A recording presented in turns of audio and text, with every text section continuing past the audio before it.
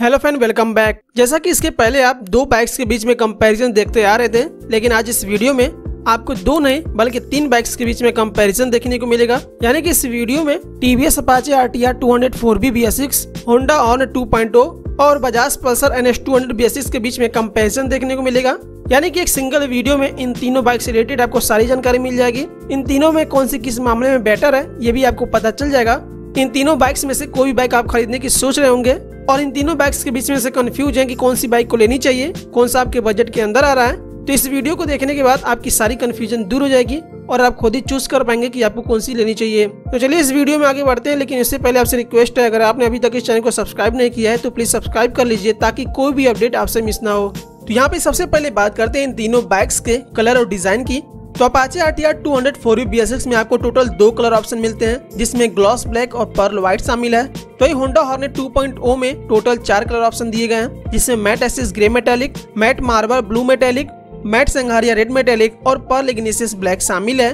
तो ये Bajaj Pulsar NS में आपको काफ़ी सारे कलर ऑप्शन मिल जाते हैं। इसमें फ़िलहाल अभी चार कलर ऑप्शन दिए जा रहे हैं, जिसमें graphite black mirage white fiery yellow और वाइल्ड रेड शामिल है। लेकिन कंपनी ने एन एस टू हंड्रेड में चार नए कलर ऑप्शन और ऐड कर दिए जो कि आपको 23 अक्टूबर से आपको सभी डीलरशिप पे मिलना शुरू हो जाएगा। वो चार नए कलर ऑप्शन कौन से हैं, उसके मैं आपको नाम बता देता हूँ, जिसमें burn red metallic pearl white pewter grey और प्लाज्मा सेटिन ब्लू शामिल है। तो ये चार कलर ऑप्शन आपको नए मिलेंगे अब। और N S two hundred B का जो नया कलर दिया गया है, इसमें आपको थोड़े से अलग कलर के आपको ग्राफिक्स देखने को मिलेंगे और इसके व्हील को व्हाइट कलर का दिया गया है। तो वही बात कर लेते हैं इनके डिज़ाइन की। तो यहाँ पे इन तीनों बाइक्स के डिज़ाइन को एक्सप्लेन नहीं करूँगा। इन तीनों के फिगर्स को आप अपने स्क्रीन पर देख सकते हैं। इन तीनों को डिज़ाइन को आप देख सकते हैं। जिसका डिज़ाइन आपको अच्छा लगे, उसको आप परचेस कर सकते हैं। यहाँ पे इन तीनों बाइक्स को आप देख सकते हैं। यहाँ पर आपको काफ़ी अच्छे डिज़ाइन की आपको तीनों बाइक्स मिल जाते हैं। इन तीनों बाइक्स में आपको काफ़ी अग्रेसिव टैंक दिया गया है। नीचे के साइड इंजन काउल दिया गया है।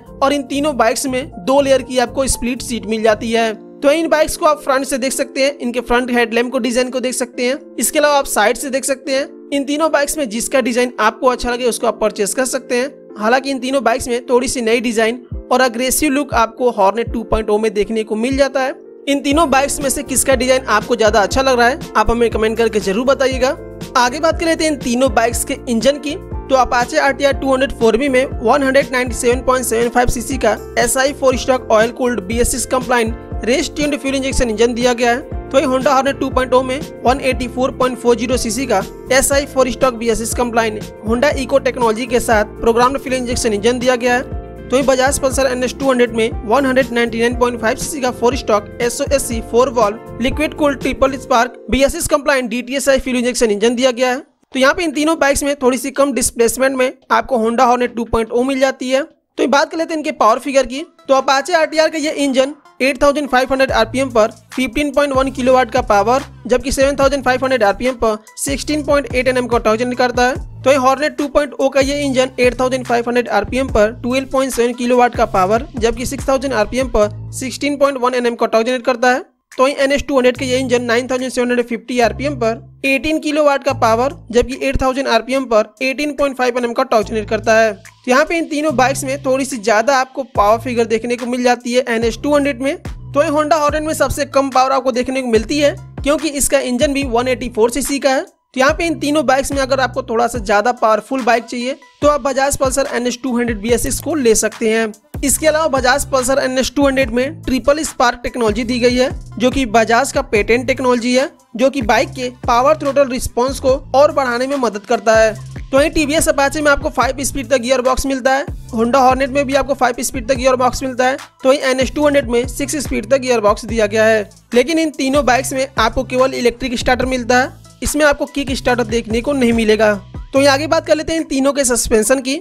तो अपाचे के फ्रंट में टेलीस्कोपिक और रियर में मोनोट्यूब मोनोसॉक सस्पेंशन दिया गया है। तो वही होंडा हॉर्नेट 2.0 के फ्रंट में अपसाइड डाउन फॉर्क और रियर में मोनोसॉक सस्पेंशन दिया गया है। तो वही एन के फ्रंट में telescopic with anti friction boost और रियर में nitrox monoshock absorber with canister लगा हुआ है। तो यहाँ पे इन तीनों बाइक्स के रियर में आपको मोनोसॉक सस्पेंशन मिल जाता है। तो इनके फ्रंट सस्पेंशन में आपको थोड़े से डिफरेंस देखने को मिल जाती है।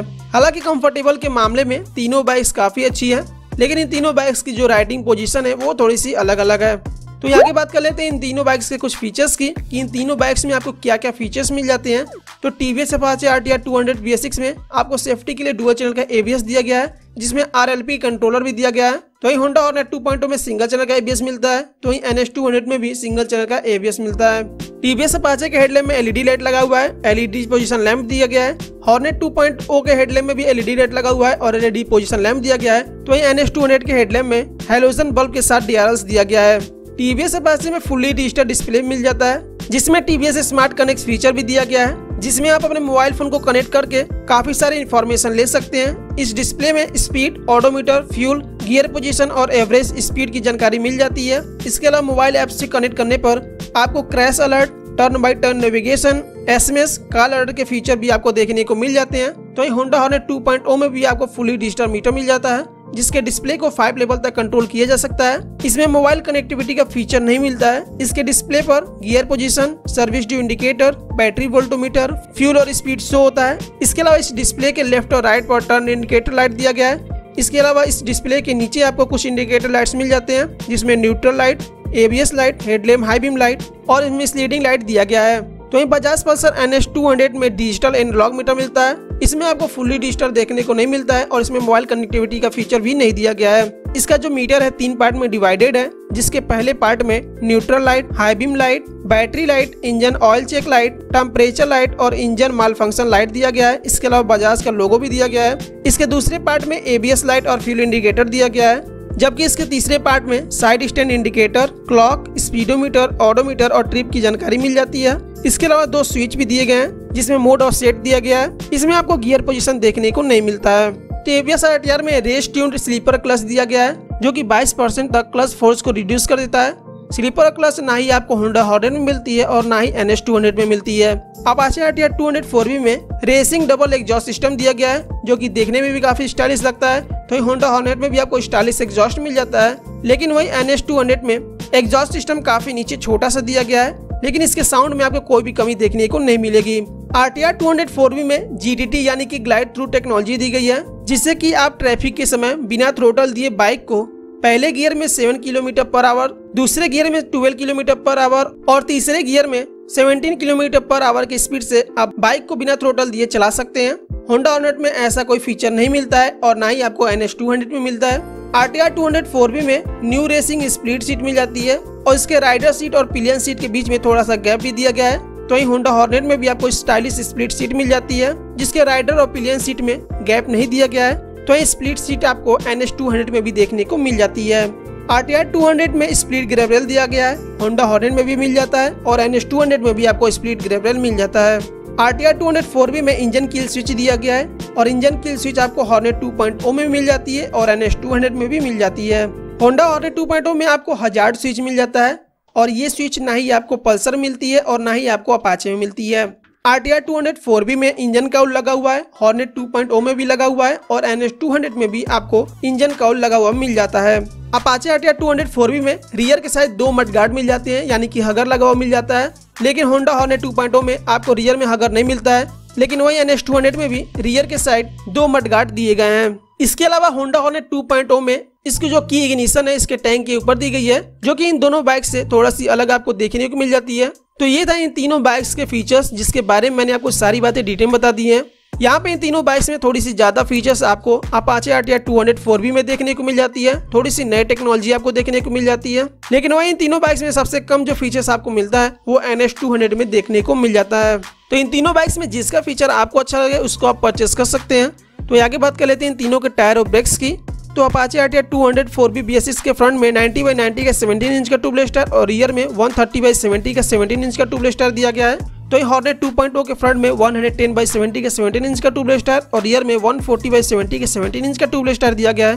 तो ये एन के फ्रंट में 100 बाई 80 का 17 इंच का ट्यूबलेस टायर और रियर में 130 बाई 70 का 17 इंच का ट्यूबलेस टायर दिया गया है। यहाँ पे इन तीनों बाइक्स में थोड़ी सी चौड़ी टायर आपको हॉर्नेट 2.0 में देखने को मिल जाती है, जिससे कि ये बाइक का लुक थोड़ा सा और भी बढ़ जाता है। इसके अलावा ये बाइक सड़कों पे काफ़ी अच्छी ग्रिप बना के चलती है। तो आगे बात कर लेते हैं इनके ब्रेकिंग सिस्टम की।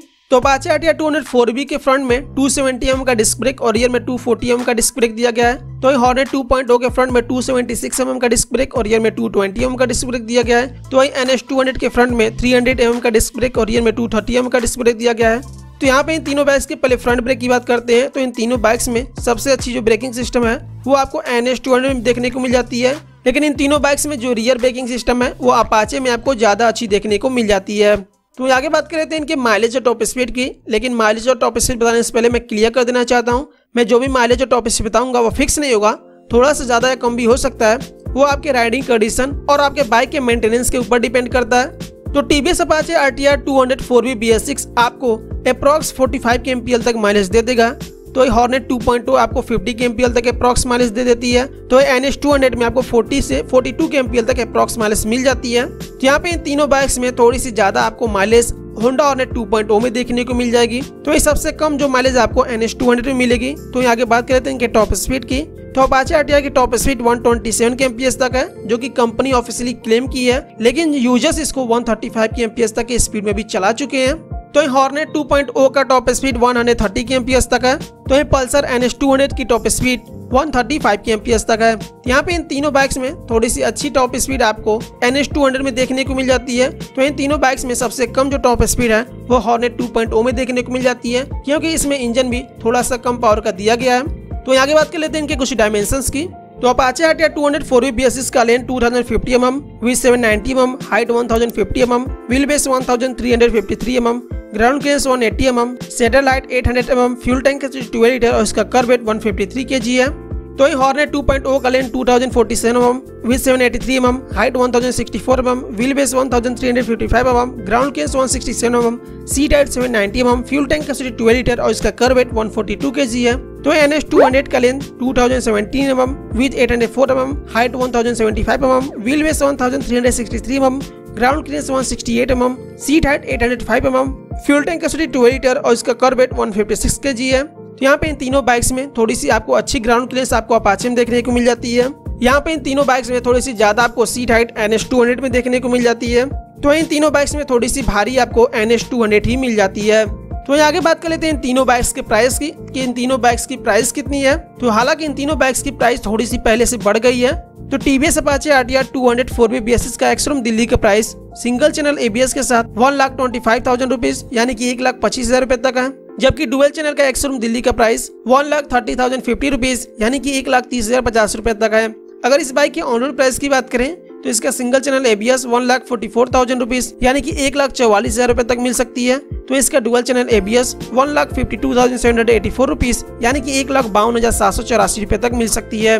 ये होंडा और two point O B S इसका एक्सरूम दिल्ली का price one lakh twenty six thousand nine hundred twenty seven rupees यानी कि एक लाख छब्बीस हज़ार नौ सौ सत्ताईस रुपए तक है। तो इसके ऑन रोड प्राइस की बात करें तो इसका approx on road price one lakh forty nine thousand three hundred rupees यानी कि एक लाख उनचास हज़ार तीन सौ रुपए तक है। तो ये Bajaj Pulsar N S two hundred B का एक्सरूम दिल्ली का price one lakh thirty one thousand two hundred nineteen rupees यानी कि एक लाख इकतीस हज़ार दो सौ उन्नीस रूपए तक है अगर इस बाइक के ऑनरोड प्राइस की बात करें तो ये लगभग आपको one lakh fifty one thousand rupees यानी कि एक लाख इक्यावन हज़ार रुपए तक मिल सकता है। यहाँ पे इन तीनों बाइक्स में थोड़ी सी महँगी आपको जो मिलेगी, वो आपको अपाची मिलेगी, जो कि इसका डुअल चैनल एबीएस है। तो यहाँ पे इन तीनों बाइक्स में थोड़ी सी सस्ती अगर आपको चाहिए तो होंडा हॉनेट टू को आप ले सकते हैं। यहाँ पे इस वीडियो में इन तीनों बाइक्स रिलेटेड मैंने आपको सारी बातें बता दी हैं। इन तीनों बाइक्स में क्या क्या डिफरेंस है, ये भी मैंने आपको बता दिए हैं। तो इन तीनों बाइक्स में जो भी आपके बजट के अंदर आ रही है, उसको आप ले सकते हैं। हालाँकि इनके प्राइस में भी ज़्यादा डिफरेंस नहीं है। तो इन तीनों बाइक्स में कौन सा आप यूज़ करते हैं, या फिर कौन सा आप खरीदने वाले हैं, या फिर कौन सा आपको पसंद आ रहा है कमेंट करके ज़रूर बताइएगा। तो इस वीडियो में फ़िलहाल इतना ही। उम्मीद करता हूँ ये वीडियो आपको अच्छी लगी होगी। तो इस वीडियो को लाइक शेयर ज़रूर कर दें। और इस चैनल में पहली बार चैनल को सब्सक्राइब करना नहीं भूलिएगा। Thank you friends thanks for watching